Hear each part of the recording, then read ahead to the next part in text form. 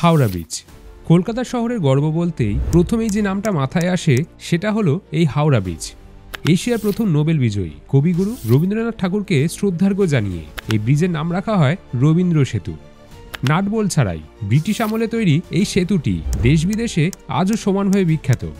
প্রতিদিন প্রায় তিন লক্ষ যানবাহন এবং সাড়ে চার লক্ষ পথচারী যাতায়াত করেন এই ব্রিজের ওপর দিয়েই।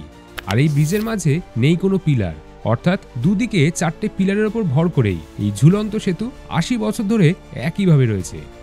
দ্বিতীয় বিশ্বযুদ্ধের সময়, অর্থাৎ উনিশশো বিয়াল্লিশ তেতাল্লিশ নাগাদ, যখন এই বৃষ্টি তৈরি হয়েছিল, তখন জাপান কলকাতায় বিমান হামলা করে এবং তোমরা জানলে অবাক হবে। এই ব্রিজটিকেও তারা টার্গেট করেছিল, কিন্তু ভাগ্যবশত এই ব্রিজের ওপর কোনো মিসাইল এসে পড়েনি।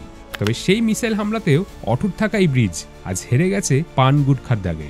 যাই হোক চলো, আজ আমরা জেনে নিই হাওড়া ব্রিজের প্রায় দেড়শো বছরেরও বেশি ইতিহাসের কথা। ব্রিটিশ ভারতের রাজধানী দিল্লি নয়, ছিল কলকাতা, থুরি, ক্যালকাটা।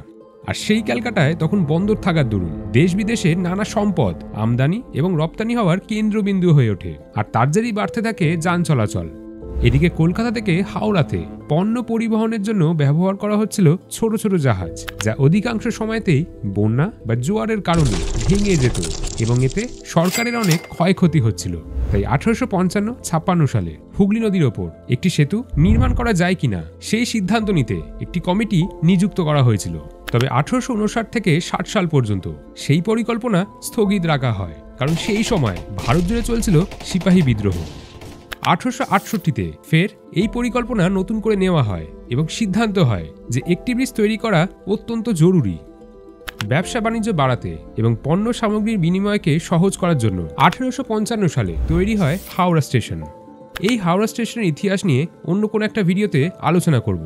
যাই হোক, এবার প্রশ্ন ওঠে, রাজধানীর সাথে কীভাবে যোগাযোগ হবে? কারণ বাণিজ্য বাড়ার সাথে সাথে শুধুমাত্র জলপথে জিনিসপত্র ও যাত্রী আনাগোনা সম্ভব হচ্ছিল না। তাই হাওড়া ও কলকাতাকে সংযোগ করতে এই সেতু নির্মাণের কাজে লাগে ব্রিটিশ সরকার।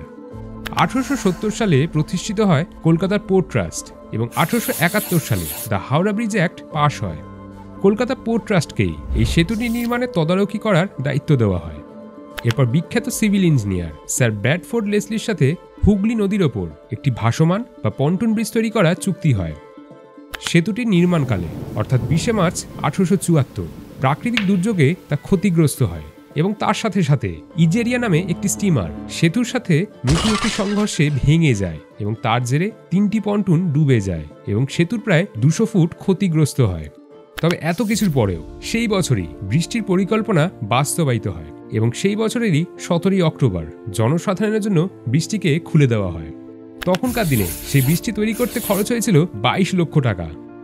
বৃষ্টির বিভিন্ন অংশ ইংল্যান্ড থেকে আমদানি করে এখানে সংযোগ করা হয় এবং সেই বৃষ্টি ছিল পনেরোশো আঠাশ ফুট লম্বা এবং বাষট্টি ফুট চওড়া।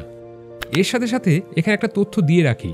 রাতের বেলা, যাতে কোনো জাহাজ গিয়ে ধাক্কা না মারে সেখানে, তাই মল্লিকঘাট পাম্পিং স্টেশনে ডায়নামোর সাহায্যে ইলেকট্রিক ল্যাম্পোস্ট জ্বালানোর ব্যবস্থা করা হয়েছিল। যাই হোক, এতক্ষণ পর্যন্ত ভিডিওটা তোমাদের কেমন লাগছে সেটা অবশ্যই জানিও কিন্তু। আর তার সাথে সাথে, এই চ্যানেলে যদি নতুন হয়ে থাকো, তাহলে সাবস্ক্রাইব করতে ভুলো না কিন্তু। নদীর জলতল থেকে। বৃষ্টির উচ্চতা খুব বেশি না হওয়ার কারণে জাহাজ বা স্টিমার যাতায়াত করলে বৃষ্টি মাঝখান থেকে খুলে দেওয়া হতো। তবে উনিশশো সালের আগে শুধুমাত্র দিনের বেলাতেই জাহাজ যেতে পারত। কারণ সেই বছরের জুন মাস থেকেই রাতের বেলাতেও কিছু জাহাজ যাওয়ার অনুমতি দিয়েছিল সেকালের সরকার। এই রকম ব্রিজ এখনও খিদিরপুরে গেলেই দেখতে পাবে তোমরা। তবে এখানেও একটি সমস্যা দেখা দেয়। ব্রিজটি মাঝখান থেকে খুলে দেওয়ার দরুন বেশ কিছুক্ষণ রাস্তায় ট্রাফিক বন্ধ থাকতো। আর তাছাড়া ব্রিজটির বহন ক্ষমতা খুবই সীমিত ছিল, তাই ব্রিটিশ সরকারকে নতুন চিন্তাভাবনা করতেই হয়। পোর্ট ট্রাস্টের প্রধান প্রকৌশলী মিস্টার জে ম্যাগলাসান পন্টন সেতুটিকে একটি স্থায়ী কাঠামোর সাথে প্রতিস্থাপন করতে চেয়েছিলেন, কারণ বর্তমান সেতুটি উত্তর দক্ষিণ নদীর যান চলাচলে বাধা সৃষ্টি করছিল।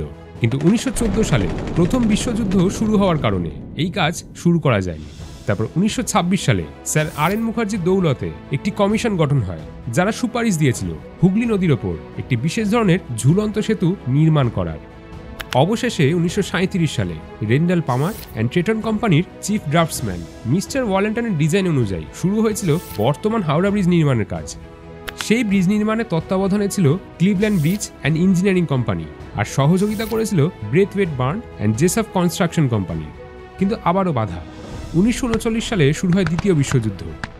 ব্রিজটি তৈরি করার জন্য প্রয়োজন ছিল ছাব্বিশ হাজার পাঁচশো টন স্টিল, কিন্তু মাত্র তিন হাজার টন স্টিল দেওয়ার পরেই ইংল্যান্ড থেকে বন্ধ হয়ে যায় স্টিলের সাপ্লাই। এদিকে ব্রিজটি বানানো অত্যন্ত জরুরি। সেই সময় এগিয়ে আসে ভারতের টাটা স্টিল কোম্পানি।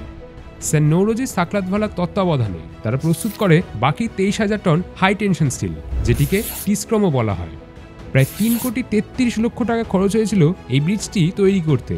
এবং সময় লেগেছিল প্রায় আট বছর। দু হাজার তিনশো তেরো ফুট দৈর্ঘ্য, একাত্তর ফুট প্রস্থ এবং দুশো ফিট উচ্চতা এই হাওড়া ব্রিজে। অবশেষে দ্বিতীয় বিশ্বযুদ্ধ চলাকালীনই উনিশশো সালের ফেব্রুয়ারি মাসে জাপানিজদের সম্ভাব্য আক্রমণের ভয় অনাড়ম্বরভাবেই শুধুমাত্র একটি ট্রাম চালিয়ে উদ্বোধন করা হয় এই বিখ্যাত হাওড়া ব্রিজে।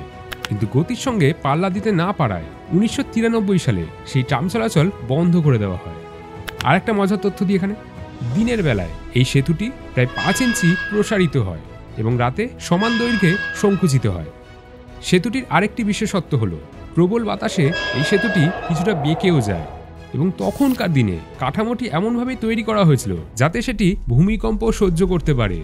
তবে এতক্ষণে নিশ্চয়ই এই প্রশ্নটা মাথায় এসেছে যে একটি ব্রিজ কীভাবে এত বছর অক্ষত অবস্থায় দাঁড়িয়ে আছে মাঝে কোনো পিলার ছাড়াই। আসলে এটি একটি suspend type, balanced cantilever bridge. ইংরেজ সাহেবদের লক্ষ্য ছিল এমনভাবে ব্রিজটি তৈরি করতে হবে যাতে এই ব্রিজের নিচের অংশে কোনো পিলার না থাকে। আসলে গঙ্গা দিয়ে ভেসে যাওয়া জাহাজ বা নৌকা চলাচলের ক্ষেত্রে যেন কোনো সমস্যা না হয়, সেটাই ছিল তাদের মূল উদ্দেশ্য। ব্রিজের শুরু ও শেষে চারটি করে পিলার থাকলেও মাঝে সেই কারণেই কোনো পিলার নেই। অর্থাৎ এই ব্রিজটি ঝুলন্ত অবস্থায় রয়েছে। চব্বিশে জুন দু হাজার পাঁচ। গঙ্গা ওয়াটার ট্রান্সপোর্ট প্রাইভেট লিমিটেডের অন্তর্গত একটি ব্যক্তিগত কার্গো জাহাজ এম ভি মনি। জোয়ারের সময় সেতুর নিচ দিয়ে যাওয়ার চেষ্টা করে এবং একটা দিক প্রায় তিন ঘণ্টা আটকে থাকে। এর ফলে সেতু স্ট্রিঙ্গার এবং অনুদৈর্ঘ্য গার্ডারের ক্ষতি হয়। চল্লিশটি ক্রস গার্ডারের মধ্যে কয়েকটি ভেঙেও যায় এবং তার সাথে সাথে চারটি ট্রলি গাইডের মধ্যে দুটি এবং ঢালাই করা বেশ কিছু কাঠামোর অংশ ব্যাপকভাবে ক্ষতিগ্রস্ত হয়। ক্ষয়ক্ষতি এতটাই মারাত্মক ছিল যে ক্যালকাটা পোর্ট ট্রাস্ট, ইংল্যান্ডের সেই রেন্ডাল পামার অ্যান্ড ট্রিটন লিমিটেডের কাছে সাহায্য চায় এবং তার সাথে সাথে স্টিল অথরিটি অফ ইন্ডিয়াকে অনুরোধ করে হাই টেনশন স্টিল পুনরায় তৈরি করে দেওয়ার জন্য। ব্রিজটি সারাতে প্রায় এক বছর সময় লেগেছিল এবং প্রায় পঞ্চাশ লক্ষ টাকা খরচ হয়েছিল আর মেরামত করেছিল সে Braithwaite Burn and Jessop construction company. বর্তমানে এই ব্রিজের রক্ষণাবেক্ষণের দায়িত্বে রয়েছে কলকাতা পোর্ট ট্রাস্টি যারা ইস্পাতের পিলারগুলিকে ফাইবার গ্লাস দিয়ে ঢেকে পরিষ্কার পরিচ্ছন্নতা বজায় রেখেছে। তাহলে বলো, আজকের এই ভিডিওটা দেখে তোমাদের কেমন লাগল? আর কারা কারাই বা জানতে হাওড়া ব্রিজের এই ইতিহাসের সম্বন্ধে? নিজেদের মতামত জানাতে ভুলো না কিন্তু। আর ইউটিউব এবং ফেসবুকে গিয়ে লাফালাফি চ্যানেল এবং ফেসবুক পেজটি ফলো করে নিয়েছো তো? কারণ সেখানেই আসতে চলেছে এই ধরনের আরও নানা ভিডিও।